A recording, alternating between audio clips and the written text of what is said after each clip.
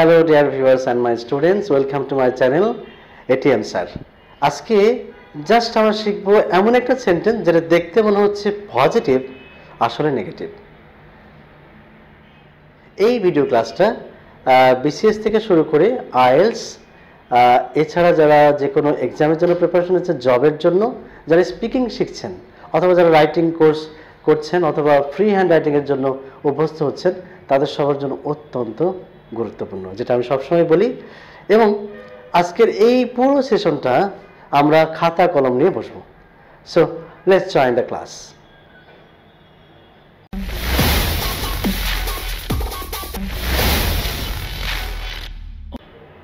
so viewers এবার দেখব আমরা প্রথমে স্ট্রাকচারটা কেমন হয়।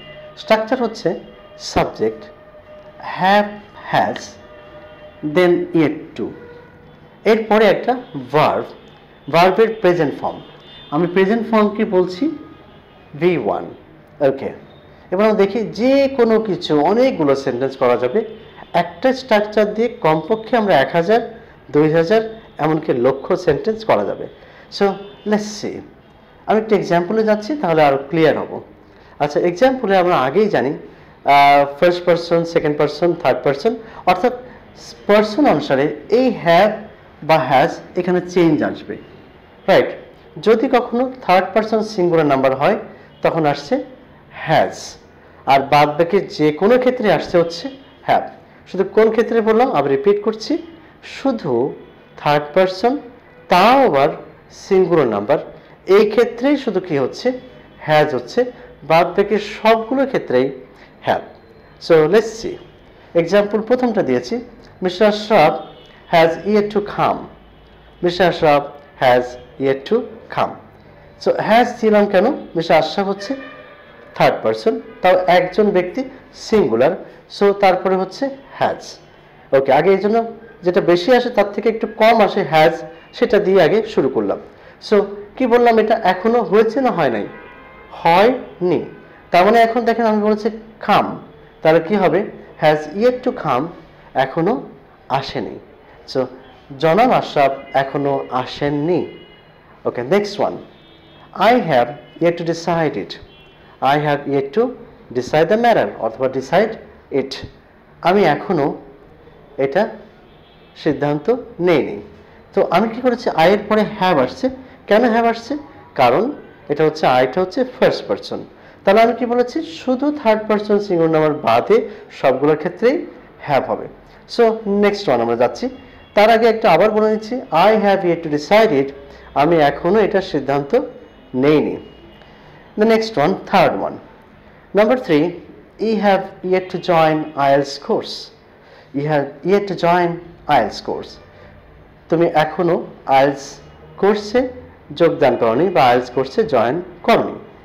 The next one he has yet to confirm the seat he has yet to confirm the seat সে এখনও তার আসনটি নিশ্চিত করেনি। সে এখনও তার আসনটি নিশ্চিত করেনি। ঠিক এখানে সি দিলেও হতো। She has yet to confirm her seat অথবা তার সিট সে এখনও তার সিটটি বা আসনটি নিশ্চিত করেনি। আচ্ছা দ্য নেক্সট ওয়ান আমরা দে দিয়েও একটু করে দেখি, দে কেমন হয়। So they have yet to reach Dhaka so they have yet to reach Dhaka তারা এখনও ঢাকায় পৌঁছায়নি। তারা এখনও ঢাকায় পৌঁছায়নি। দেখেন, আজকে এই ছোট্ট এক্সপ্রেশন ইংরেজের এই ছোট্ট ব্যবহার টু এটা খুব সুন্দর। আইএলসিও যারা নাইনে নাইন পেতে চান, তাদের কিছু শুধু স্ট্রাকচার দরকার হয়, তাদেরও এটা অনেক কাজে লাগবে। স্পিকিংয়ে ব্যবহার করা যায় রাইটিংয়ে রিডিংয়ে তো আপনারা দেখছেনই, বা লিসেনিংয়ে যখন শুনছেন, তখন এই স্ট্রাকচারটা অবশ্যই প্রয়োজন। সো আমি এখন এই জন্য বলছি, আবার আমার সঙ্গে একটু বলুন, যাতে রিপিট করতে করতে আজকে বাড়ি যাই। আর যারা এখনও সাবস্ক্রাইব করেনি অবশ্যই সাবস্ক্রাইব করুন। আরেকটা ভুল করেন অনেকেই, আপনারা বেল বাটনটা প্রেস করেন না। যার কারণে অনেক সময় নোটিফিকেশন পাচ্ছেন না। যখনই ভিডিও আপলোড হচ্ছে, আবার আপনাকে চেক করতে হচ্ছে। চেক করার দরকার নাই জাস্ট প্রেস করুন বেল বাটন যাতে সঙ্গে সঙ্গে নোটিফিকেশন পেয়ে যান ভিডিও আপলোড করার সাথে সাথেই। সো আশা করি এই ধরনের ভুল হবে না। Thank you very much for subscribing to my channel এখন আবার যাচ্ছি রিপিট আফটার মি এবং আমরা আস্তে আস্তে এইভাবে করতে করতে বাড়ি যাচ্ছি। আর নেক্সট ভিডিও আসছে কিছু একটা আশ্চর্যজনক কিছু নিয়ে, খুব সুন্দর কিছু নিয়ে। এটা একটা সারপ্রাইজ থাকছে। Okay let's go for once again. Mister Ashraf has yet to come mister Ashraf জনাব আশরাফ এখনও আসেননি। I have yet to decide it আমি এখনও এটা সিদ্ধান্ত নেইনি। I have yet to join the IELTS course তুমি এখনও আইলস কোর্সে জয়েন করনি।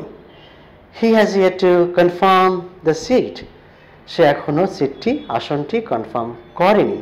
And the last one I wrote here they have yet to reach Dhaka তারা এখনও ঢাকায় পৌঁছায়নি। আজকে আমরা এই পর্যন্ত শিখলাম। তবে এরকম অনেকগুলো এক্সপ্রেশন কোথা থেকে পাচ্ছি সেটার জন্য আমি এখন দেখাচ্ছি।